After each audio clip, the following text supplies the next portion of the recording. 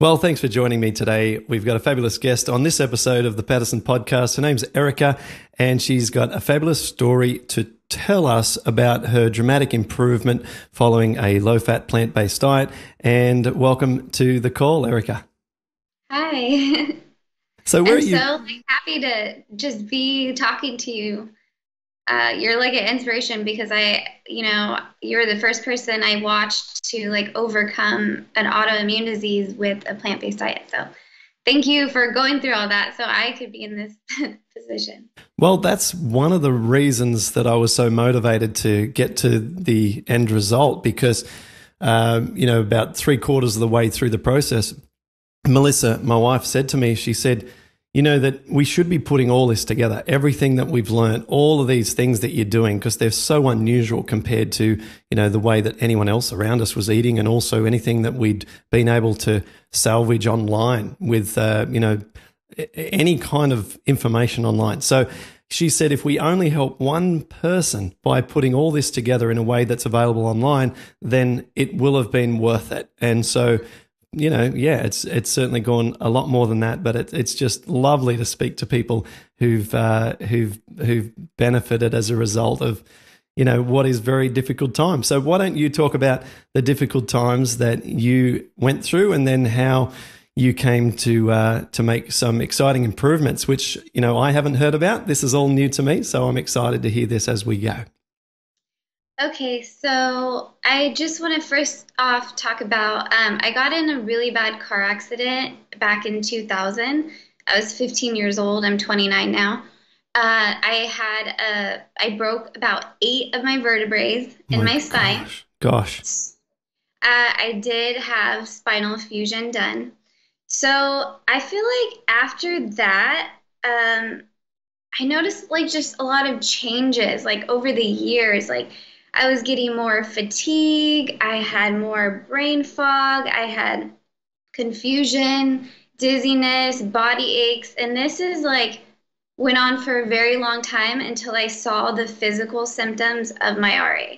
So I don't know if like being in because I was in it took it was a long recovery. I was on morphine, you know, probably antibiotics, all mm. these different things that I'm now connecting back um, because when you think about trauma and you know antibiotics and you know I've researched and all that and I've listened to you talk about that, I feel like that was like the start of like my leaky gut, and um, so kind of just progressed from there.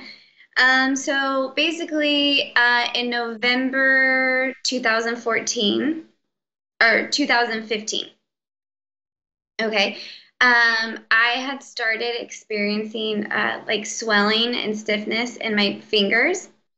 And at the time, I was a rock climber with my boyfriend. We would rock climb all the time. I had been climbing for a few years. So I thought that I may have like injured my fingers. And mm. so I just kind of like, you know, put on the back burner. I'm like, oh, I'll probably go down. Like I probably pulled something in my finger and then it wasn't going down and uh, i was experiencing you know severe fatigue. I actually passed out at work so dizzy. I passed out. I didn't know why. I hadn't been to the doctors in a very long time. Um, so i wasn't up to date with like you know my vitamin b vitamin d like uh, you know my iron. I hadn't checked any of that for a long time. So um, basically I had asked some of the climbers like, "Hey, have you experienced this?" I showed them my fingers and they're like, "Whoa," because they were really swollen. And they're like, "No, I have like never seen that before." And they're like, "You should probably go get that checked out." So I was like, "Okay." And it was really weird because um, my grandma had rheumatoid arthritis, and uh, she the d- disease was really progressive with her and she had osteoporosis. She was only like 55 and so um, basically within like five years she got extremely sick and i had like multiple surgeries okay? And so um, she passed away because of complications from medication. And that was hmm. like back in uh, 2000 actually right before my car accident. So i don't think they had a lot of research behind the medication um, she was just extremely sick and fatigued, anyways. So, anyways, I had that in the back of my mind because I'm like, uh, for all these years, I thought something was medically wrong with me, but I didn't go to the doctors because I was scared. You know, I was like, okay, like I feel like something's severely wrong with me because like I had all these, I had congestion all the time, major congestion, uh, depression, anxiety, severe stress, just a combination of all these terrible things. And so, and it didn't matter like how good things were in my life. I couldn't get rid of my depression and anxiety. I'm like, what the heck is going on? Like, and you know, I would just be driving and I'd get super lightheaded and then it would give me anxiety. So I'm like, am I getting lightheaded? And then I'm getting anxiety, or do I have anxiety? And then I'm getting lightheaded. So basically, um, I decided to go to the doctors in January 2016. And uh, I went to my primary care uh, physician and uh, I told him, like, hey, I have some swelling. Like, this is, you know, I'm not feeling good he checked out my knuckles and he was like, Well, you're a climber, like, you know, and I told him, like, I thought maybe it would be rheumatoid arthritis. And he was like, No, you're really young. Like, why would you think that? I'm like, Well, my, I know my grandma had it, and I honestly haven't been feeling well for a very long time and at that point i had been looking online to like see about symptoms and like a lot of the symptoms i was like experiencing mine you know the physical ones were you know what people with ra have and so uh, he went and checked my rf factor and then he checked uh, like my iron my vitamin d my b12 so a few days later he calls me back and he says okay there's a couple things you're extremely anemic, like extremely anemic. Uh, you're extremely like B12 deficient, and you're vitamin D deficient. And he's like, and another thing is your RF factor is elevated. It was 37. Okay. Okay, so he says, he's like, I, he's like, you could, he's like, some people have elevated RF doesn't mean you have arthritis. He's like, so I'm going to send you to a specialist. So I'm like, okay, like really scared, you know, like like I already had one positive number. And so um, I think I, I got into the rheumatologist in March, beginning of March. And uh, she checked, you know, checked my joints, checked, you know, asked how I was feeling. And then she goes, Well, I'm going to go ahead and run uh, your CCP and your CRP and your ESR. Good. So uh, she ran those numbers, and uh, the next visit I had come back to her. She she had me come in and she went over it with me and she said your CCP is 144.3. So she said that's really high because I think normal is like less than four or something like that, less than 10 or less than four. So, and at that point, you know, I didn't know anything about any of these numbers. You know, hmm. it wasn't even like significant in my mind. I'm like, okay, you know, I don't understand. but um, and my ESR was eight, and then my CRP was zero point two zero point three zero. So it was still under one. It was still low, but I could feel that it was going to get worse. It was getting worse because I was feeling it in my feet. I was feeling it in my shoulders. And I'm like, okay, something's like really going down. So that conversation with her was basically like 10 minutes. okay. she doesn't ask me about anything in my life. She just says, This is your numbers. You have rheumatoid arthritis. You're going to have this for the rest of your life and you have the progressive form of the disease. Well, it's all progressive, so I don't know why she said that your form is progressive. She said according to because I I'm seropositive with oh, right. okay because yeah. of that and my CCP was really high and I guess they go off of the CCP and it could predict how progressive your oh, disease okay. is. Yep. All right. Yeah. Mm-hmm. So she tells me that and she goes, she gives me, I even have it right here. This is the methotrexate. All right. Information Yeah. sheet. methotrexate. Mm-hmm. Um, and she's like, oh, you know, it does have some side effects. Uh, you will lose your hair. Don't worry about, you know, having a baby. Don't even try to do that. Um, you know, just all this terrible stuff. So Yeah. I'm like, I left and I'm like, wow. Like I felt like my old self died. I was like, like I felt like I got diagnosed with cancer because I'm like, holy crap, like this could get terribly out of control. Like you don't know, you don't have any control at that point. So you're just Exactly. like, like what am I gonna do? You know, I like I was with my boyfriend's mom, she went with me, and I just felt so, you know, lost. She had uh, prescribed the methotrexate and sulfasalazine. And so um, she's like, you know, you need to get on immediately. We need to treat this aggressively. You know, your joints are going to get damaged. And be- before that, she had me do an x ray, and the x ray didn't show any damage at that point. So that was good. Um, so, anyways, I go to pick up the sulfasalazine because I'm like, okay, this is my only option. You know, like, what am I going to do? Like, I hadn't started digging into like the holistic, you know, trying to treat this naturally because I'm like, okay, wait a second. I've heard about all people with RA. I know they're all on medications. Like, why do I think that I could achieve this through Okay, some yep. other way, right? Mm-hmm. So I go to the pharmacy and uh, they tell me that the sulfasalazine is, uh, they didn't have any. That They're I needed, they ran out and I needed to come back the next day. Okay. So within that one day, like my boyfriend, my boyfriend's mom, me, we're just online searching for everything, you Mhm. know. There has to be another way.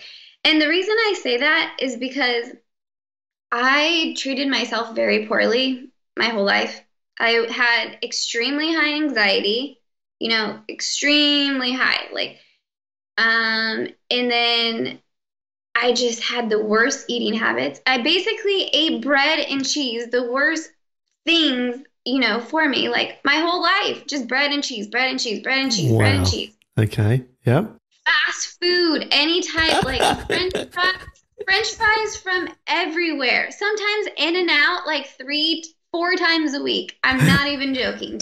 Okay. And I was like, oh, I do this because like I'm thin, you know, like I don't have to worry about this. But it's like it's not what's on the outside, it's what's on the inside. And that's what I'm like totally have learned through this, you know, whole process. So, anyways, I uh, went online and uh, my boyfriend actually found your TED Talk, and we love TED Talks. Like, I've been watching them for like forever. I mean, on any random thing, I'm like so interested in it. So, he finds your TED Talk, and uh, so I'm like, wow, there's like someone that overcame this, and like, you were in a terrible position. You know, I'm like, okay, if someone in that condition can do something like this with discipline and determination, like maybe I can. So, um, I actually I found uh, a naturopathic doctor too as well. And Good. so I saw a naturopathic doctor. And the thing that I've learned now is that naturopathic doctors get fed information that's like, you know, from like produced from like meat companies and stuff. Like I just know like the train of how like information gets to the schools.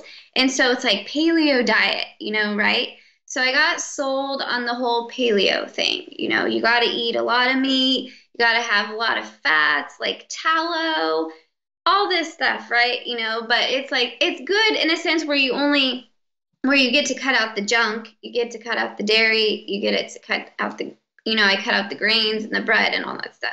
Okay. Yeah. So, um, I did that. Did you do the? like- did you do what some people call the autoimmune protocol, which is a sort of autoimmune version, or, or did you just Yeah. do? Yeah, you did that. Okay. So, Did that. I Yeah. did that for like two months. yep. Okay. I did that for two months, and uh, honestly, I didn't really tell if like anything was bothering me because thinking back now, it was just the meat. It wasn't the white potatoes or whatever because paleo so like no white potatoes, no this, you know, and it's like no tomatoes. And what I've read, like people with like these uh, allergies to those nightshades, uh, is like extremely rare. And I think, but I, I, I do believe that some people have these allergies, but I don't think for me that was the case. It's okay. been me and tell you how I got there. Yeah, we, but, um, I, I, can comment on that later as well. So I'm excited to hear where where the, you know the rest of your uh, personal journey, and at the end we can talk about some of these uh, details. Okay, yeah. So what happened next? Okay, so um, okay, so I realized during the last year we went to Yosemite. Cool. we went to Yosemite last August, and uh, because we're climbers, we love nature. We go to Joshua Tree. You know, we used to climb, but this last year I didn't climb. You know, because of my hands. Mm-hmm. Um, but I did hike because I had so much energy because I'd been juicing, you know, for, you know, I had been juicing for 10 months. You know, I did eat a lot of veggies, minus the meat, but I did eat a lot of veggies and didn't eat junk food, didn't drink soda. I mean, I haven't had a soda in like a year and something. Um, so I was feeling better. So I I did the hike. Um, I totally lost what I was saying. Okay, so at this point, uh, are you uh, still on the uh, sort of paleo meat plus vegetables approach? Oh no, no. Oh, oh, oh, this is what I was saying too. Cool. Is that when we went to Yosemite, we had uh, prepackaged food, and so we made roast beef, okay, or pot roast. We made a bunch of pot roast, and I like even be like over the year or the year of being paleo, I didn't really like eating a lot of meat. I was a vegetarian like a long time ago. And like I just, you know, I always loved animals and I'm like, I always felt guilty for eating animal protein, mm. you know, but it's like so a part of our society that you just give in. Mm. So, anyways, I'm like, okay, I need to eat paleo. I need to eat healthy during this trip. So I made a bunch of pot roast, okay? And so I hadn't had that much red meat because we were there for uh, six days camping. Yep. So I hadn't had that much red meat. And by the end of the trip, I thought it was like elevation, this, you know, I was trying to blame it on different things. But really, thinking back, my fingers got even more swollen because I was eating so much red meat. And I, at the time, I was like, oh, it was probably the potatoes and the pot roast. no. So uh, yeah. So um, this last December, um, I just had this feeling that red meat. At the time, I just thought it was red meat in December. I was like, okay, I think red meat is really irritating me. Like I've been doing so good with this paleo diet. It's supposed to be, you know, the cure all, and I still have inflammation. Yeah. Like my pain had subsided. My pain had subsided. Like basically like 96, 97%. I painted. Okay, and so did my stiffness. But my inflammation just was like so stubborn, and I'm like, okay, it has to be meat. And then I like revisited your, um, well, I didn't tell you this, but probably like in June. Okay, so I started the paleo diet last March when I was diagnosed. And then in June, uh, my boyfriend bought me your program because I was having so much inflammation and so much pain. And uh, I wasn't ready to commit to your program because I was like, oh, this sounds so extreme. You know, like I still, and I was like, in my mind, I'm like, oh, I still need to do the paleo diet. Yeah, okay? sure. You hadn't completely no. decided whether or not it was going to do the job or not. Exactly. So I was like, yeah. well, let me at least try this out yeah. for a year and then do that. Right. That's right. Yeah. So in so in December, I was like, you know what? I'm just going to cut the red meat out and see what happens. So I cut the red meat out this last December. And so, um, and then all December, I was barely eating any chicken or any fish. I was trying to do mostly like vegan dishes.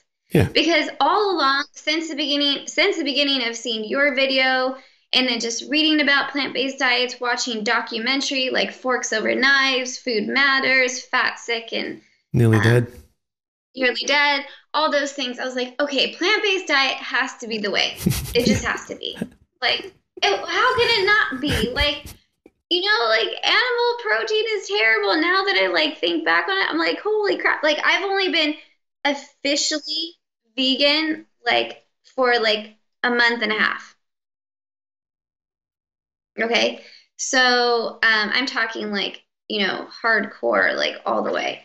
Um, so anyways, so yeah, I cut out the red meat, cut out the fish and whatever, and then um, officially at the beginning of January when I was like, okay, no animal products like ever. And I even within a week of me cutting it out, my inflammation went down.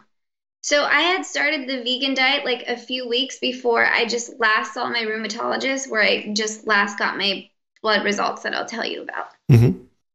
So I cut it out and I'm like, oh, like I even felt a gazillion times better. I felt like I didn't have this like stagnant energy like in my body. Like I just felt so much clearer and and it's funny because I think my mom so my mom got me um, a Bikram yoga pass. I asked Awesome. it for her for Christmas.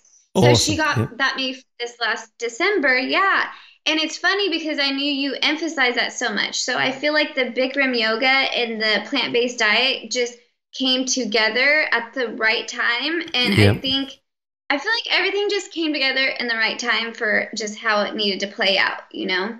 Mm-hmm. Uh, it happened when I was ready to do it and when I knew it needed to happen because I simply wasn't seeing the results that I thought I should have been seeing, you know? Mm-hmm.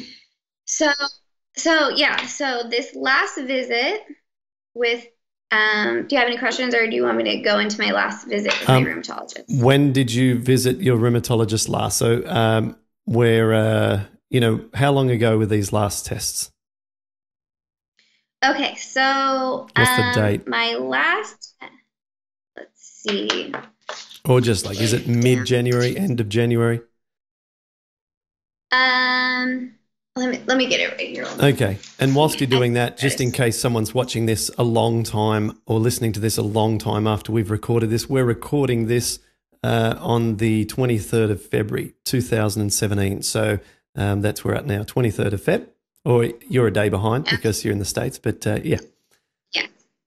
So I went on February 9th. Okay. So a little over two, no, it's two weeks ago. A little under. Yeah, two weeks Yes. ago. Okay. Yeah, so it's all it's all Yeah, it's very, it's right now. so, so here's the thing: when they check your CCP, okay, they only check it once, and if you're positive, you're positive. Okay, so my rheumatologist. Oh, I forgot to tell you. Um, when I first got diagnosed by the first rheumatologist, I asked to see a second rheumatologist to get a second opinion Mhm. and someone who was a lot nicer because I feel like my first rheumatologist was like, "You have this, that's it." You know, I was crying. She wasn't even concerned about it. So I asked to see another second, yeah. another rheumatologist. Good. And so I told this rheumatologist that I didn't want to get on medication, that um, I wanted to try to do this by myself. So this rheumatologist, the second rheumatologist, knew that I was trying to do this with diet, even though she thought it had nothing to do with it. Yeah. She was like, you know, they're they're like, I don't know what you're talking about. Like that has absolutely nothing to do with it. She's like, I heard some people, you know, can take turmeric and it helps I'm Like, okay. So, anyways, she knew about that. Yeah. And so um, I told her that I wanted to check my CCP again when I gave myself one year of healing my leaky gut, which Yeah, she good. doesn't get either. Okay. Which she didn't, So- had never heard of, right? She'd never heard of that. No. No, she no. Okay. Yeah. And so, um, you know, and then um, so I asked her to recheck my CCP, my ESR, my CRP, and my RF Yeah, good. before before I went in to see her this last time. Yeah. Okay, so it's crazy. It was way more than I ever expected. Like, okay, so my RF went from 37 down to negative and to below 10. Wow. Yep. Okay, my CRP uh, was uh, 0.30 to point less than 0.20. Which means that they cannot detect it. Below that measurement. Less than Yeah. point less than point two means we don't know how low it is. It's just below the level of measurement of our equipment. Mm-hmm. Yeah. And then my, I'm saving the best one for last. And then my ESR, um, my ESR stayed the same. It was still eight. So I don't know. I was reading that like some people's blood is just that's the way it is. I don't know. So Well, I'm not sure. what that ESR will means. ESR will pick up everything. If you're just got a little bit of a sniffle, or you've got a little bit of uh, muscular pain, or you've got a, a, a little bit of a cold, or if you've just got a backache, it'll pick up all sorts of inflammation. Um, Okay. But let's be realistic here. Um, the average person on the street without any kind of diagnosis, if they had their ESR measured, my guess is it's probably going to be somewhere between four and eight anyway Okay. because normal is under 20. So, like, it's less than the 50% marker within normal. So, it's Yeah. awesome. Yeah. And um, okay, so then my CCP, which she was, she was really reluctant to retest this. She was annoyed, okay, because you know she hadn't seen me. I actually emailed her before I got had my appointment with her and emailed her, and she said okay. So I got my CCP back, and it was from 144.3 down to less than 27. Wow. Just incredible. Okay. Yeah. So I go to the doctor's appointment Yeah. and I'm like at that point because she hadn't released um my CCP to me like Huh. cuz I get my lab results through online and the first time she ran my CCP she never released it to me. I had to go down and get it from my medical records. I don't know why they do that. And then the second time she didn't release it to me. So I didn't know my CCP until I saw her in the doctor's office. So I had no clue what was going on. I knew that my I was like freaking jumping for joy when I knew my RF factor went into the negative. Okay.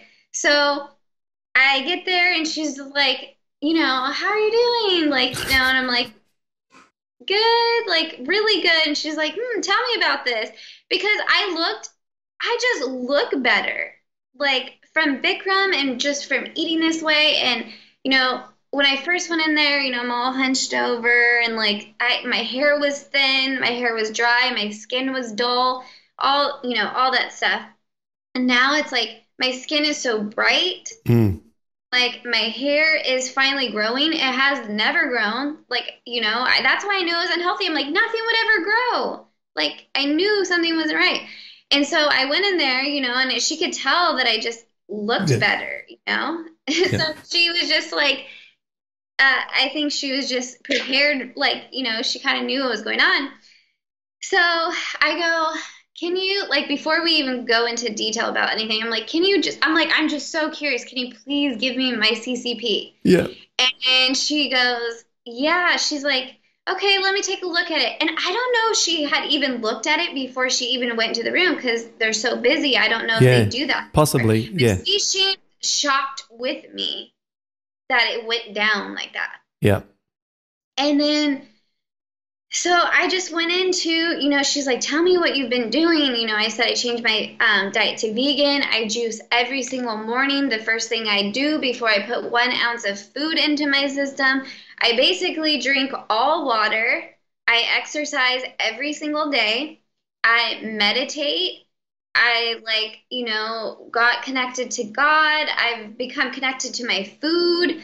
You know, it's crazy how it will change you. Like I'm like so like an environmental like activist right now because I'm like it's crazy when you learn about, you know, agriculture and like meat production and what it does to our environment. It's absolutely like how could people want to contribute to any of that, you know? So it wasn't even about just my RA. It was like Mm. everything, you know, Yes. like like saving the wildlife, saving our rainforest. Like I got I I'm crazy with all this stuff now. But Yeah. Now you're giving so, me you're giving me goosebumps right now because I had the same I, I had the exact same sort of uh, evolution of realization. So first I realized that it was about pain and that it was about me and it was about serving my own needs and the best way to do it was to eat as much nature as possible, as much plant foods as possible, and uh, and and then what transpired after that is once I felt better, I thought.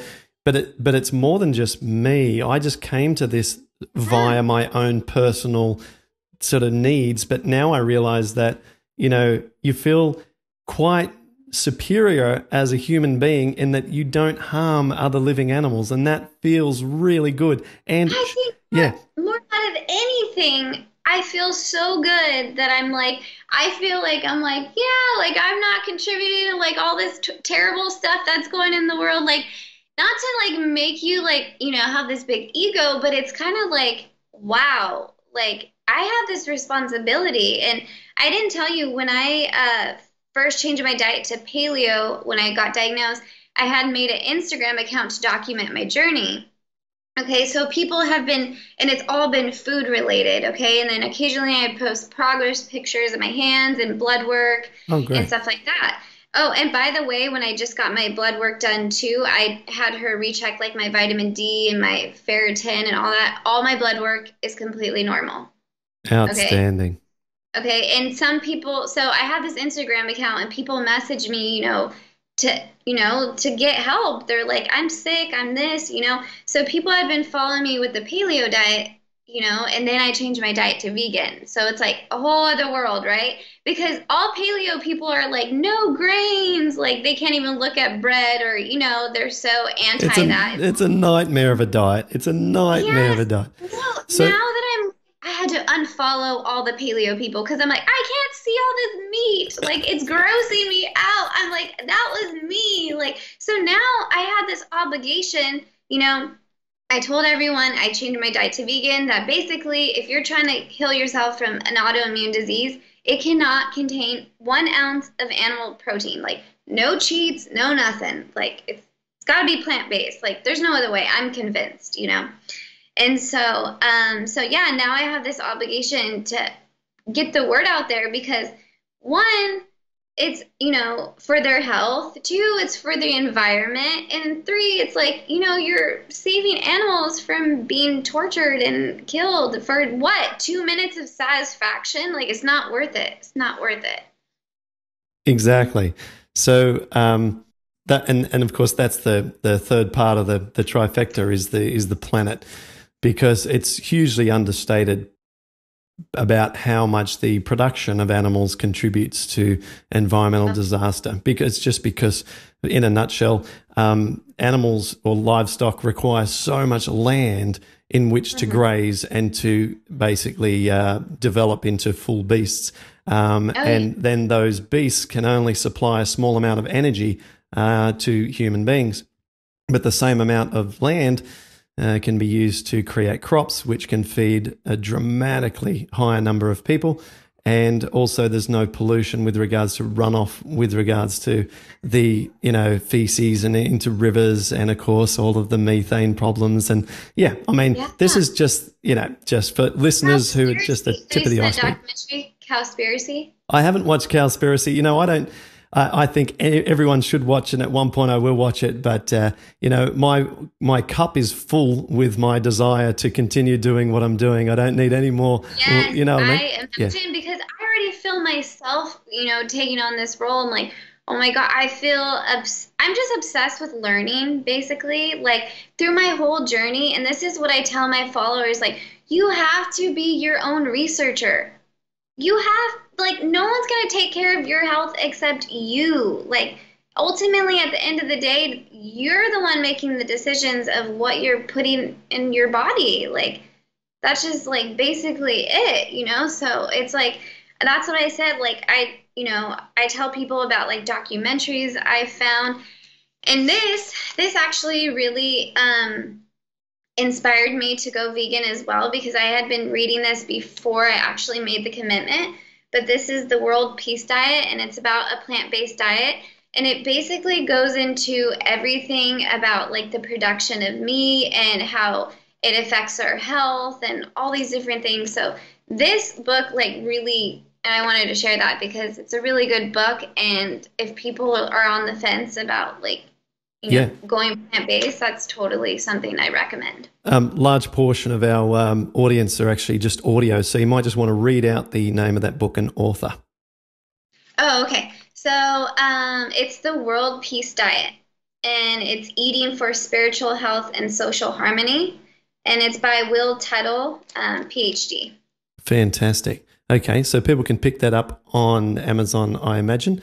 So um, you've done an absolutely outstanding job. It's what's really cool is we get so many clients, I want to say, or or or people who I'm working with who go through the process that you went through, which is going through that AIP or uh, you know autoimmune protocol, and then it normally does last about a year, and then they come across.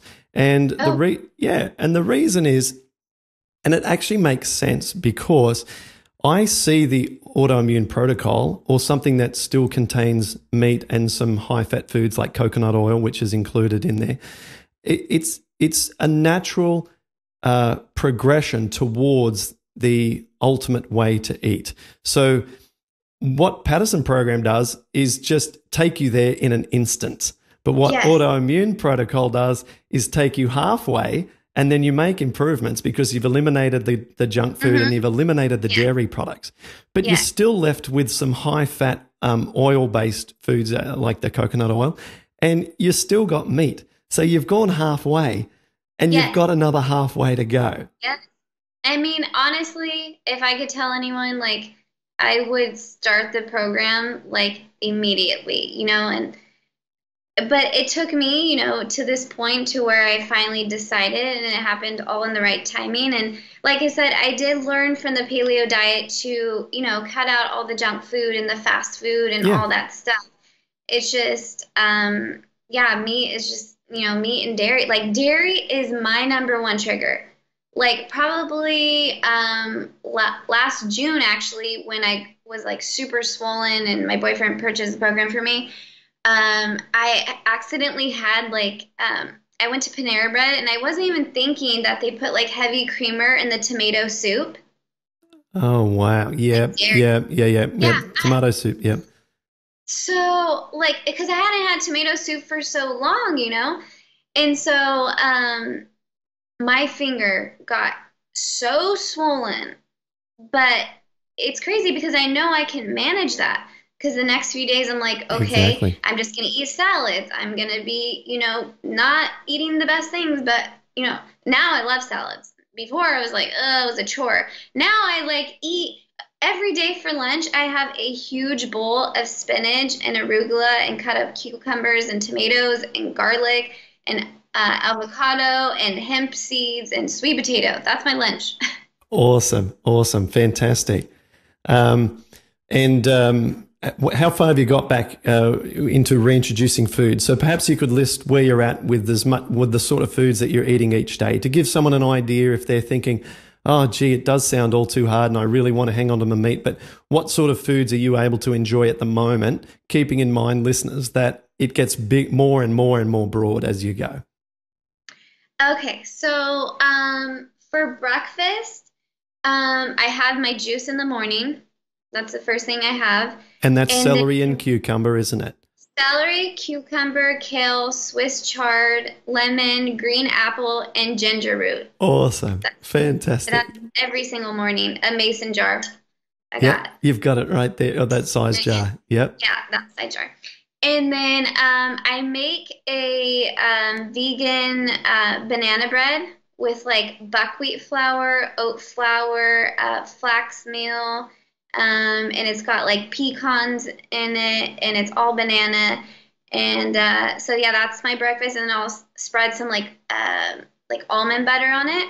Wow! So like you're you're in what I would describe as our phase five maintenance phase. So you are yeah. eating many foods that I call advanced foods. That includes yes. the nuts, yeah. the nuts butter. So you yes. you have done outstandingly well to be able to um, you know handle those foods at this point, and that's really exciting. Well, what I want to share, and this is what I talked to my doctor about, is that I never, I dodged the bullet when it came to medication. Like, the, the interesting thing about my story is that people already were sick on the medication and that was their last resort. Whereas I suffered, I'm going to say suffered, for like seven months with very, very, very swollen, tender fingers and achy and stiff. But I was so scared of the medication that I just kept believing in the food. I was like, no, I'm going to keep doing this. I'm going to keep doing this. I'm going to keep doing this. So I had to power through that without any medication. Mm. I actually had one um, steroid shot when I first got diagnosed because you know they're like, well, you can't leave here without taking medication. Please take a steroid shot. You know, because yeah, yeah. they're, they're so swollen. She's like, you got to do something.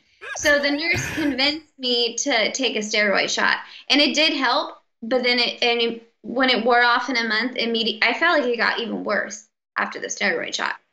So I didn't want that again. Um. So yeah, you just yeah that that's basically so. Uh, anyway, so that's for breakfast, and then for lunch, like I said, I'll have spinach arugula, cucumbers, um, tomato, garlic, and then I put some avocado and some hemp seeds on it. Mm-hmm. And then I have a baked uh, sweet potato with it. Yeah, yum. That's a delicious lunch. Yeah. yeah. Yes, it's amazing. I could eat it like every single day. Yeah. And what's for dinner?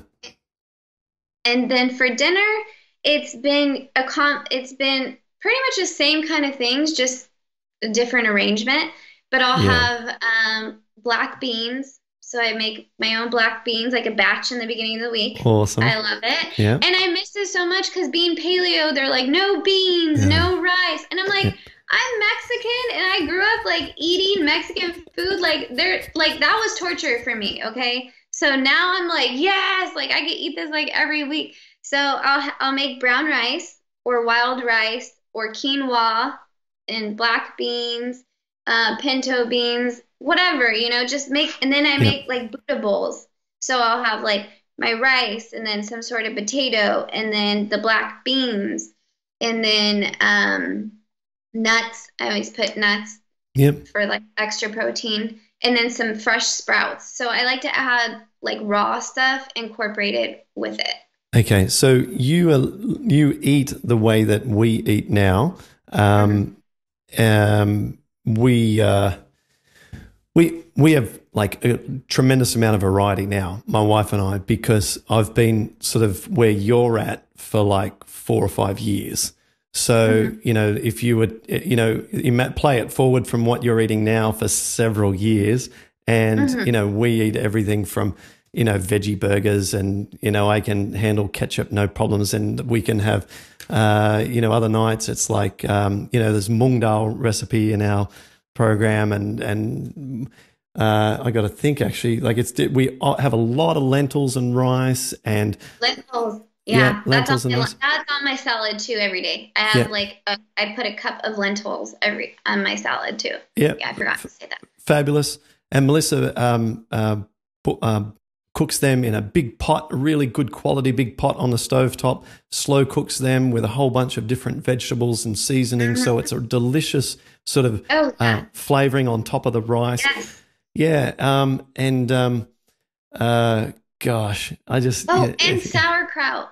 Sauerkraut. Okay, great. So you're okay, eating a lot of sauerkraut. I've been recently yeah. obsessed. So I didn't tell you, but my boyfriend, so he uh, it's just me and him. We live here, but he uh, went paleo with me. Okay, in the beginning, you know, to support me, and I was making the food, and then he went vegan with me. Fantastic. So, yeah. So we're both completely vegan, and he's like obsessed with sauerkraut. Okay, and I guess I tried like a really nasty one a long time ago, so I was like, oh, but I found a good one. So I've been eating like four like scoops of that a day, and I even noticed that even makes me feel better. I'm like, I'll eat sauerkraut like for the rest of my life. Like there, you should just everyone should incorporate that into their diet as well.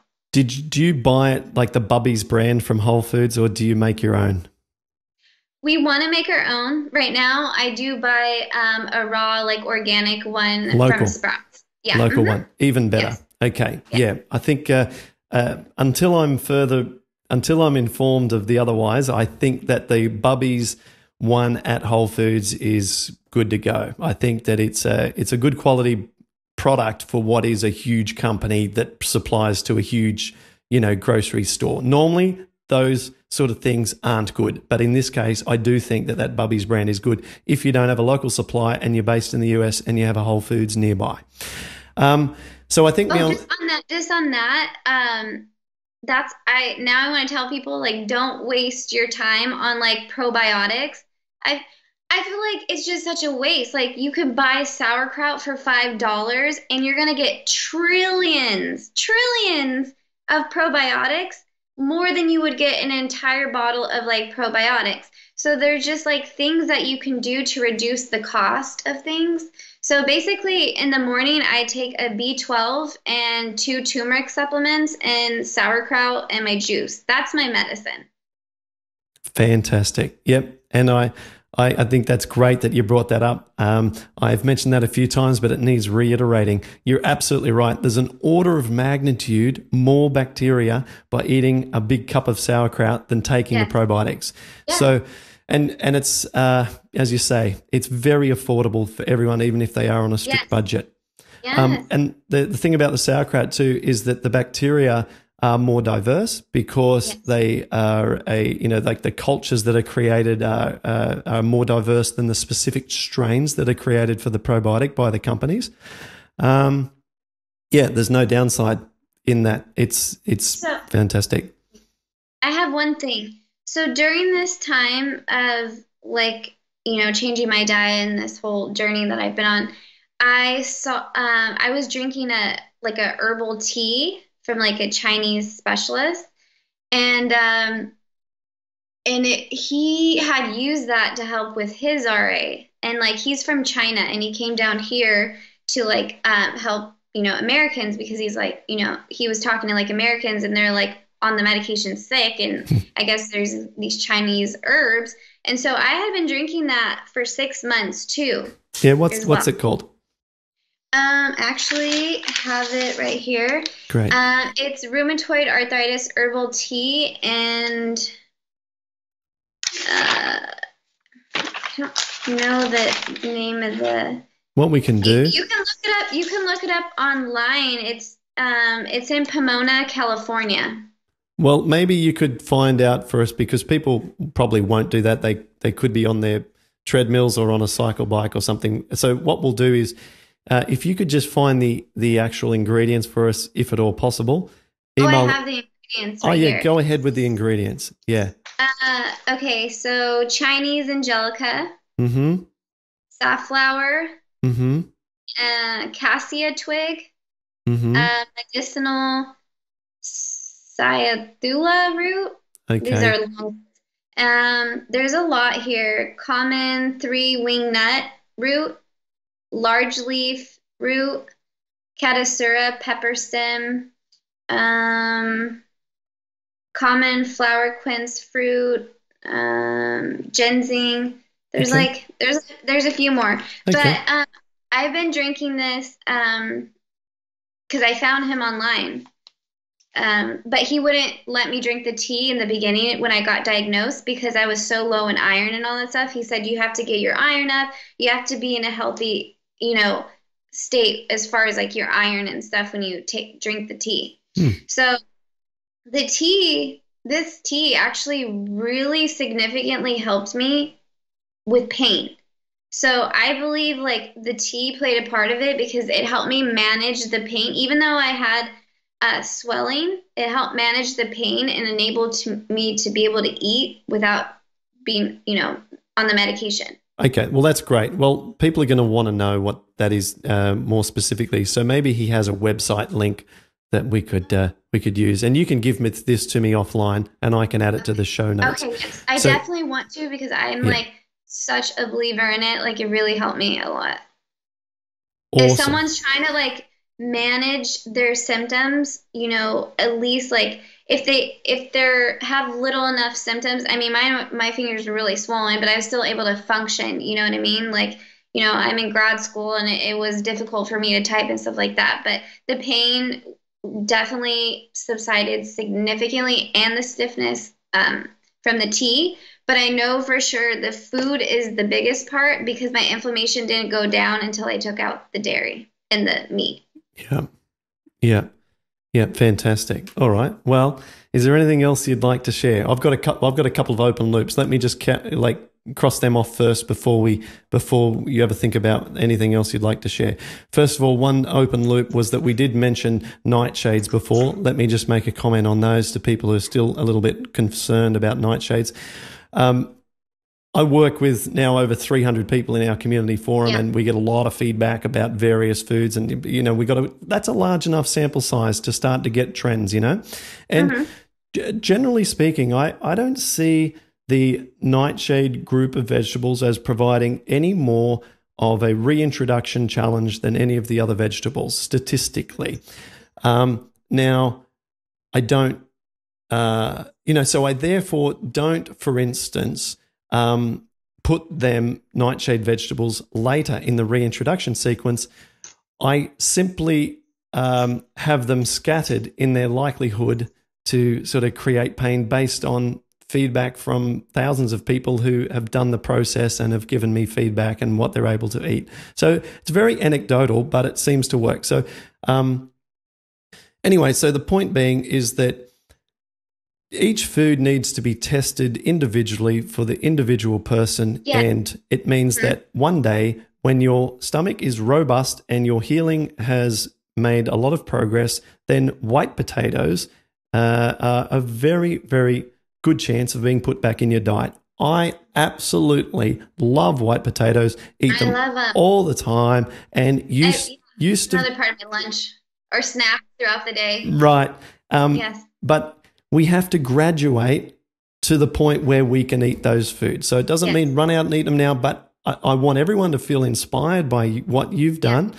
And from um, uh, other guests that we've had and what I've done, that there comes a time when you've healed enough where these foods can become not only tolerable, but delicious, mm. eaten regularly, yes. and health promoting. Yes, yes. Yeah. I definitely agree. And then the other one I had uh, in terms of an, uh, something to to um, add was we we have some great Instagrammers that are spreading the word about our program and plant based living and really creating a community. And um, you, yes, I follow uh, Ida. Yeah, Ida. Ida.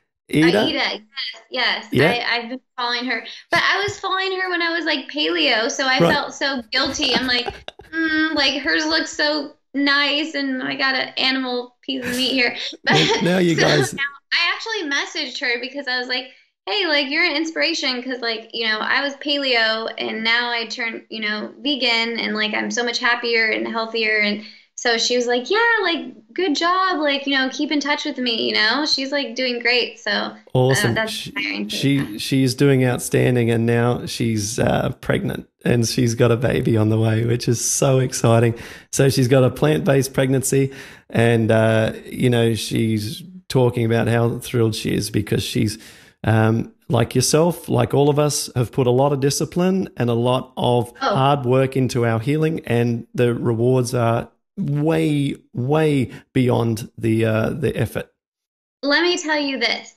So basically, my Instagram has been a live experiment for my followers. By the way, my Instagram is called Turning Pain into Purpose. If you yeah, um, that's what, what that's what I was heading towards a moment ago. Yep. But um, so everyone's been following me, and it's you know been a live journey. I literally post like my blood results, post pictures of my hand progress, you know, food, what I eat every day. And um, it's interesting how, like, some people, you know, they still discredit, you know, they don't believe, you know, like, like I'm a lucky person. And that's what I'm getting at. I'm not a lucky person. I wasn't unlucky that I got it, and I'm not lucky that I overcame it because it was 100% hard work. Like, it was not fun going places with people and watching people eat all this delicious stuff. Like it, it hasn't been easy, but now it's like I just I love what I'm eating. I don't even care. I'm like I see people sitting in the line at McDonald's and I'm just like no, stop. Like it's disturbing. Yeah. I'm yeah. Like yeah, no. I've almost I've you know, I've almost reached out at the checkout at supermarkets and taken food off of the conveyor belt for people. I've nearly actually removed it and looked at them and thought you should not be eating that. I've had to really hold back. It's very hard for me because I see suffering every day. I'm dealing with people who need help, making mistakes, needing corrections, right? And then I watch people who are naively heading in that same direction every day all around me. I'm like, if you only knew where you're going. Yes, and then like, you know, people are trying to make changes, you know, like that follow me, you know, they see they they're actually like message me all the time like I got a juicer, I'm doing this and that. But then I'll see some of them and they they're drinking a Coke. and you know, and some people have even messaged me like I've tried everything and I'm like, okay, really everything? Mm-hmm. Everything. Like I basically my boyfriend last year was like, I don't want you to work. I want you to 100% focus on healing. 100%.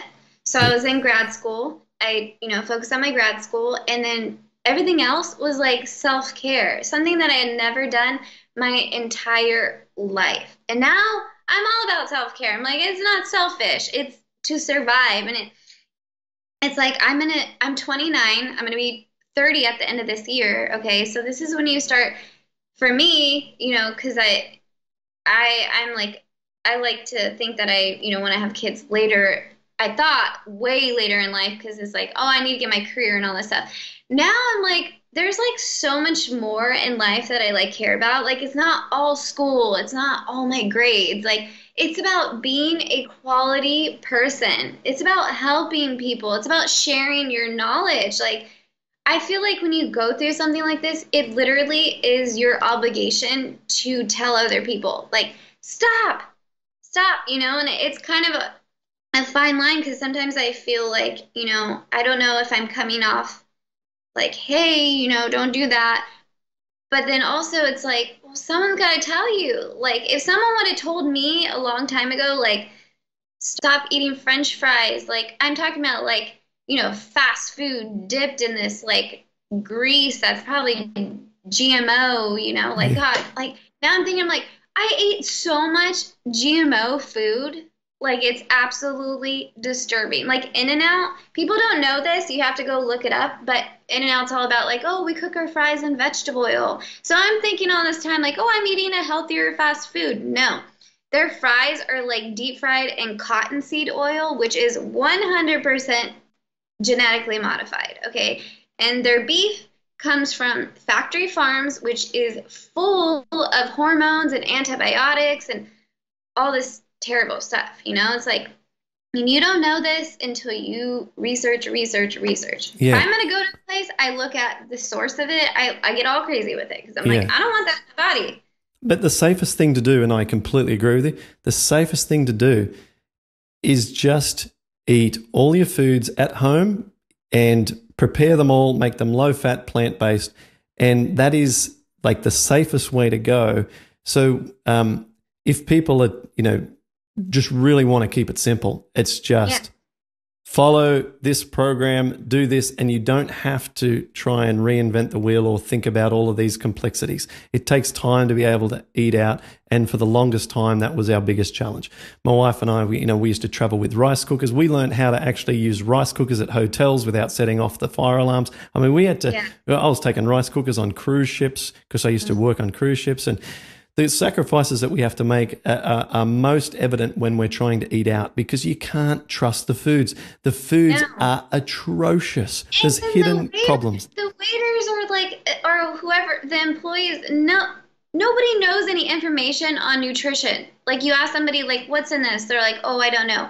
I'm like, well, can you please go ask? Like, I feel like it's an inconvenience, you know, and people are annoyed by that. And it's like, well, hello, like, you know, this is important. This is important to me, you know? So it's like you end up getting the salad or like something super basic because you don't want Absolutely. anything yeah. Yeah. So say for like I have to go to functions, and it's funny you bring up uh, genetically modified. Um, you know, I worked at an event two nights ago in Melbourne, interstate, at the second biggest city in Australia, and I sat next to the ex CEO of Monsanto Australia. Wow. now, at this function, it was not where I gave my keynote presentation. I did not speak about my health and that. Um, oh I, gosh! I was I was a uh, you know I have another job where I entertain and, and host events and stuff. Yeah. So that's that's what I did. But uh, I let him do all the talking, and uh, he said that as uh, in that role, he used to at times have bodyguards at events, and uh, the public perception was just so so strong. Um, you know, a diff- difficult role, and he's moved on from that sense. But it was interesting to come close to uh, to to someone from that company because we, well, you know, we have certain prejudices.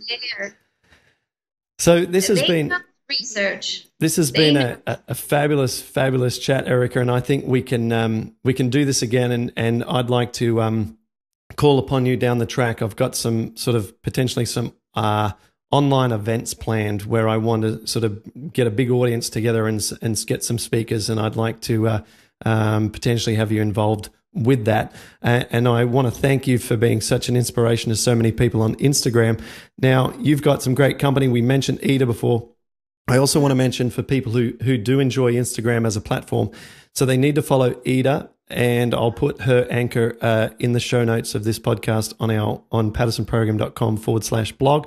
Also, Christine, who continues to create some fabulous recipes for children. So her son Cole um, I believe, one of the um, first in the world oh, who I has that video. Yeah, I watched testimony. Yeah. yeah. So Cole Cole is like a um, a pioneer for children around the world who have JIA, and Christine and her family um, are uh, leading the leading the world. I believe in that. Uh, follow Christine and her son Cole, and of course Roxana, a uh, another uh, fabulous uh, plant based champion who was also a previous guest. Yeah, I've seen. Yeah. I I like for the last like month I've been taking like Epsom salt baths and I've watched every one of your testimonials and it just like amps me up like yeah. even more. I'm like, yes, like I'm not lucky. Like I had this crazy thing and I you can overcome it. Like it's crazy. Um, but I do I would love to do that. I would love to speak for you. That would be awesome because what's crazy is when I first got diagnosed, because I'm so obsessed with like TED Talks and stuff like that, I was like, I really like would love to do a TED Talk. Like I would love to do a TED Talk about like giving patients the option to try an extreme diet or a plant-based diet, right?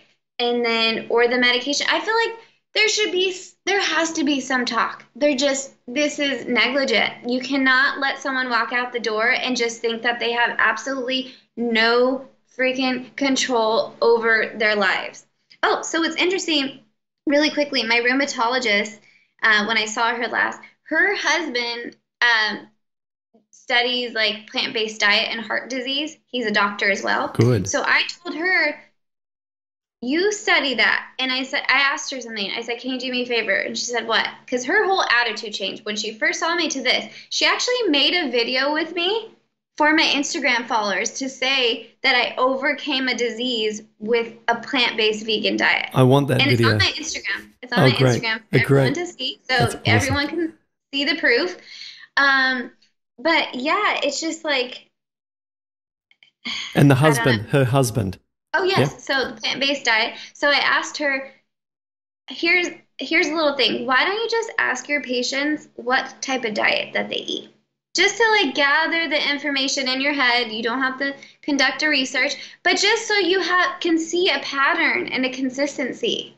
Of, and then she's like, you know what, you know, of my um, patients, they, you know, they tell me that when they eat dairy, like their symptoms are worse. So I'm like, okay. Oh, and then I was like, you know what? I'm like, here's the thing. Nobody knows if you look at the Arthritis Foundation online, nothing like that. They don't know why anyone gets autoimmune diseases or rheumatoid arthritis. Okay, they don't know. And then you're treating someone based off of these blood markers that could be different for each person. You could have it positive, you could have it negative, but you still have the same symptoms. So, how are we treating something when we don't know the underlying cause? That was my thing. I'm like, okay, you don't know why I got this. You can't give me one explanation. Not one. There's not one explanation. So, how can you treat that? And I'm like, I told her, I'm like, the closest thing we have to figuring anything out is leaky gut. That's the closest thing. And it makes total sense because of how much of our, you know, our immune system is like around our gut and everything. So she was like, I'm going to do that. I'm going to start asking my clients. Awesome. Well done. This is a good so, start. Like, That's all I ever wanted. yeah. Yeah. Well, I can see you. Uh, you've got so much passion, and uh, you're so excited about. You know, when we learn something, when we learn the real truth, the truth gives us goosebumps. You know, when we know that something is so true that it's divine, then we feel elated and we feel inspired, we feel light and and we feel not just feel light, but we can we sense the light in us and that that's what we're meant to be doing and that that's what we should be sharing because everything else other than the truth and a way of helping people is is less important. Yes. There's um, one more thing I wanted to share. Um, my good friend is um, he's going to school to be a doctor um, at Midwestern University in Arizona. And so he's so, because he's like, you know, almost finished with his schooling. And uh, I think they have an integrative medicine program. And he last year was the president of that club. There's a new president. So he's in shock by this because he knows all about the numbers, all about this stuff. And he's like, You are like a miracle. Like, he's like, This does not happen. So he talked to one of his professors who is a doctor who wants to see all my lab work and send all that to SUP because they're really interested. They want to do like a case thing on it. And then actually the the new president of the school just called me today because he told them my story. So they want me to come speak to their students their integrative medicine students on how they should talk to patients about plant-based diet to treat symptoms. I'm like, absolutely awesome. What is going on? I'm talking to Clint Paddison. I'm doing that. Like what? Like it's crazy. I never no. No, I never thought any of this. It is absolutely wonderful. I just got goosebumps again. I can see yeah. you on stage. I can picture you doing that. You know, so let me ask you this. How are those levels of depression and anxiety these days? Remember that used to be your whole yeah. thing? Let me tell you. Okay, I'm sorry. I'm getting crazy about this one because I just watched a TED talk on a psychologist or a psychiatrist who treated her patients with a plant based diet, high in nutrients, and virtually all of her patients' depression and anxiety went away from a plant based diet. Okay, so within like four months of me changing my diet, even when I was paleo, right, from cutting all the crap out, eating more veggies, juicing every day, I noticed my mood improved. Okay. And so I'm like, this is weird. Like, why do I feel better when I have like a disease? You know, I should be moping around. I should be like depressed about my life, like be, you know, scared as hell. And it got better and it got better. And like I feel like the happiest person on this planet. Like I try to get depressed because I'm like I was so used to it. I'm like, okay, get like you should be. I'm like, wait, I can't. I'm like literally so freaking happy. Like I'm happy and like my friend my friends are like the one um that's like going to school for medicine and his brother, my really good friends and they're like you are just like filled with joy and like it's literally like coming out of you and you cannot contain it. Like they're like it is so like contagious.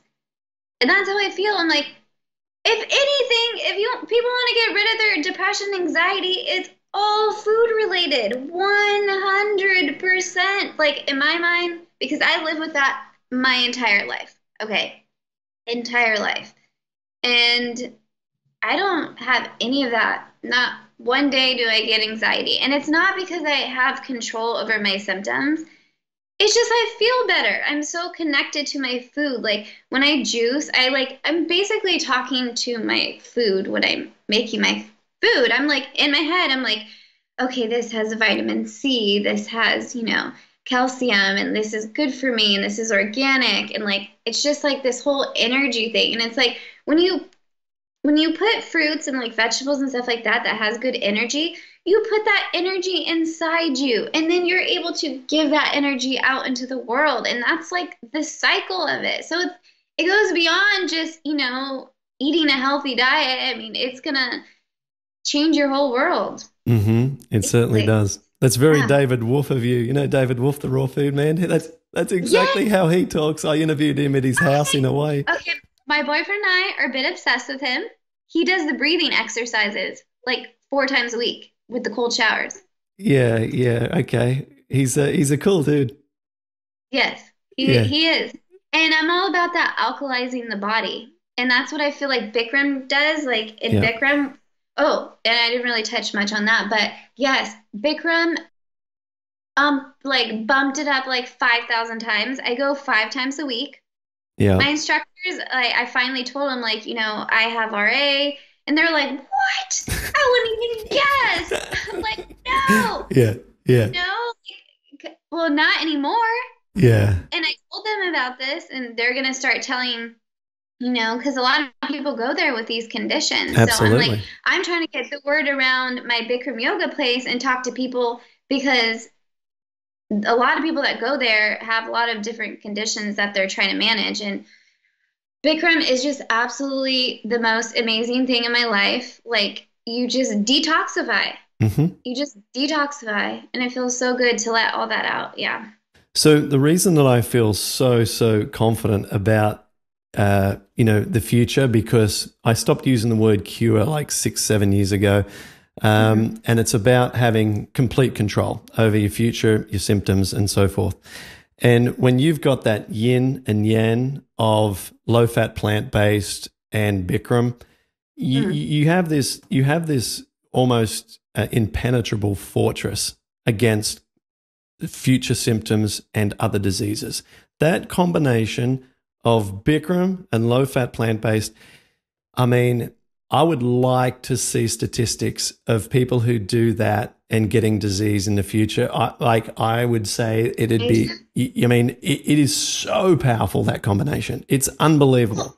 Not even just about the RA. I mean, it's preventative for so many things. You know, like uh, just like heart disease and all these different things that people have. It's like, how can you get this if you literally live this lifestyle, yeah. eating plant based and detoxifying your body on that level like five times a week. Like how is that even yeah good. How would anything bad grow in you? Like how you're yeah. not giving it the right environment. No chance no it has no. no. chance. No chance and we need to keep saying these things and and and keep reinforcing these things because I've had listeners that come back to me and say, "Look, I've been listening to the podcast for a year or following your emails for like a couple of years or something, and I only just started Bikram the other week because you keep talking about it." Sometimes it just takes that long, and the tail is so long before someone actually takes action. So that's another thing too for us to continue to continue to reinforce.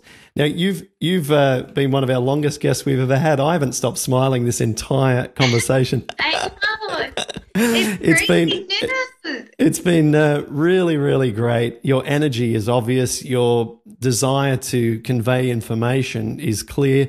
Um, your results are outstanding, and I am really excited to uh, to to do some more stuff with you down the track. Um, um, you know, just as someone who's more of a veteran at this, talking to a uh, to to someone who's uh, uh, you know bug eyed and and and having lots of fun discovering these things sort of right now. Um, you know, always keep in mind that uh, if things start to feel a little uncomfortable, you just need to quickly reset back to some real basic foods again. Mm-hmm. Normally, it only take a day or two days, and then you can put back into your diet all the things that you're enjoying on a daily basis. But if you feel symptoms, take action immediately, intervene, and then everything gets back on track real fast. So there's nothing to be afraid of. Yeah. Yeah. I have two questions. Mm-hmm. Um, I use like a tiny bit of like oil sometimes, you know, like olive oil or something like that. Like very, very, I mean, it's very little amount. Everything I try to do without. I don't notice notice anything, but I minimize it, you know, as much as possible. Yeah. So if you're using that, you're taking a risk. Froze. It's just you're just taking a risk because the and I can send you the studies. So like hummus, like I'll get hummus like from um, the farmer's market, and you know there's a little bit of oil in like hummus, and then um, basically, I mean, it's not much, but there is tiny bits. There's a little, it. yeah. So it all it is is basically. Uh, a higher risk than the other foods. So we know that high fat foods are inflammatory for the gut, and with gut inflammation comes the joint inflammation. So it's not you cannot eat those foods. It's that mm-hmm. just be aware that they are riskier.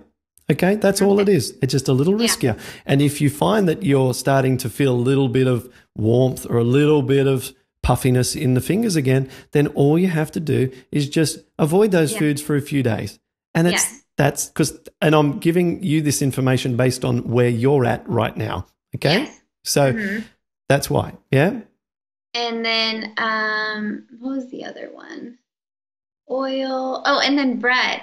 Okay. So I've been um, incorporating because you know I was paleo for so long, and then now that I changed my diet to vegan, I'm like, okay, well, was it really gluten all this time, or was it really the meat? So like um, there's like organic bread shop by my by my house and they make organic like sourdough bread and stuff. So I'll eat that and I don't notice anything. And then um, like I've been eating like not a lot. I still try to limit this as much as possible because I don't want to go back to relying on bread. I just it reminds me of old habits, so I just try to keep it as minimal as possible.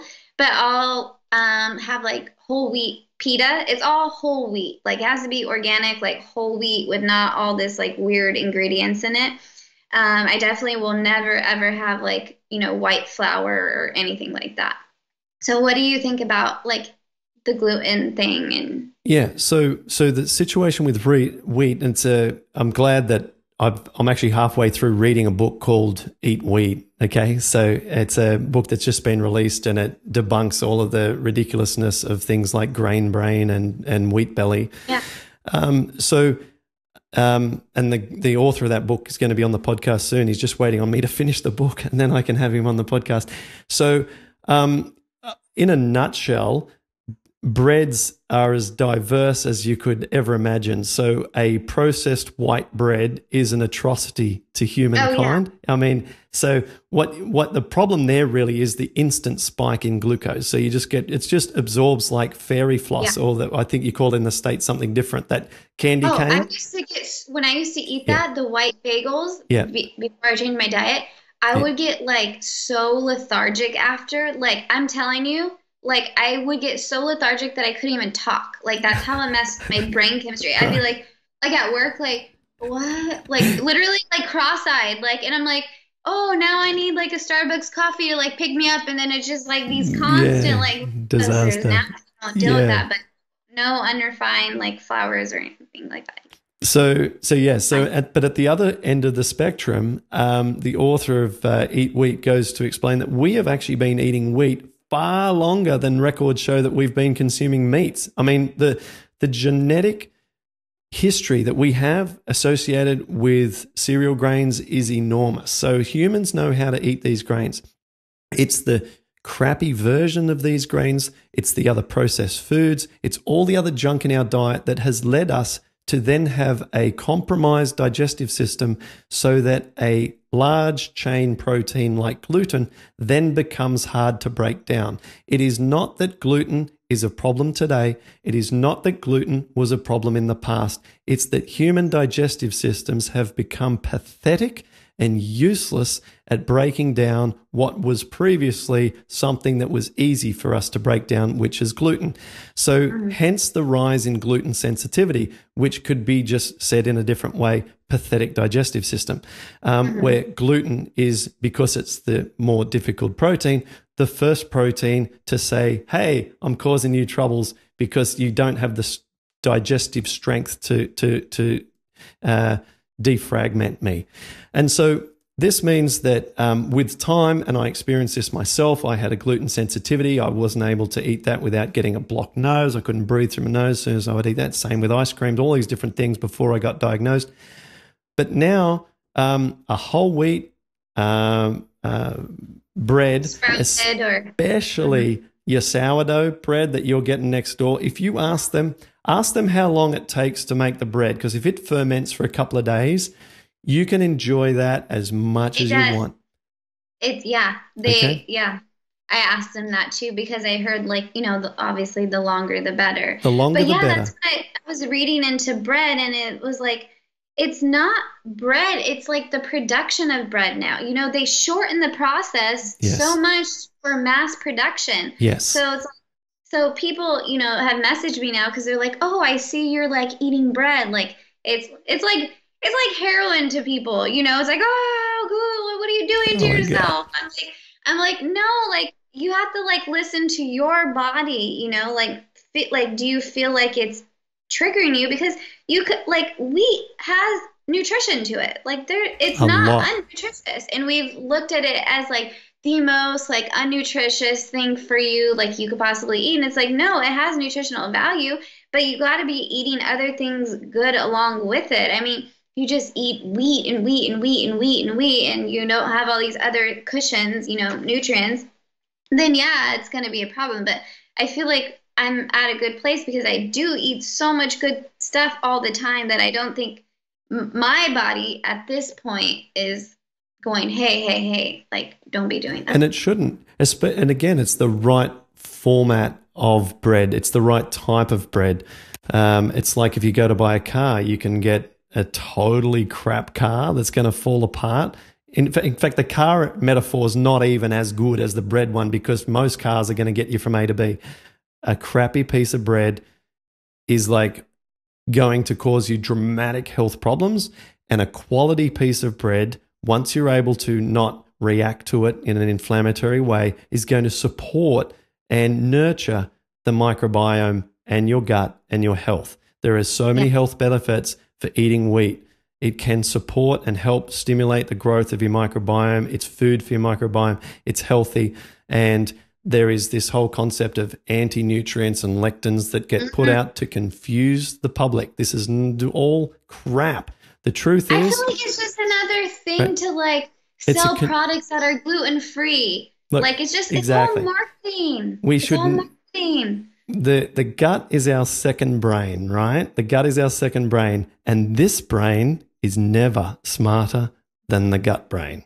The gut yeah. brain, that's the one that needs to be able that's the one that we need to listen to and to nurture. This thing gets in the way. This thing reads too many stupid blog posts from fools trying to sell something online to try and make money, but ultimately disserve the public. What we need to do is to heal our gut with the quality plants and we will thrive.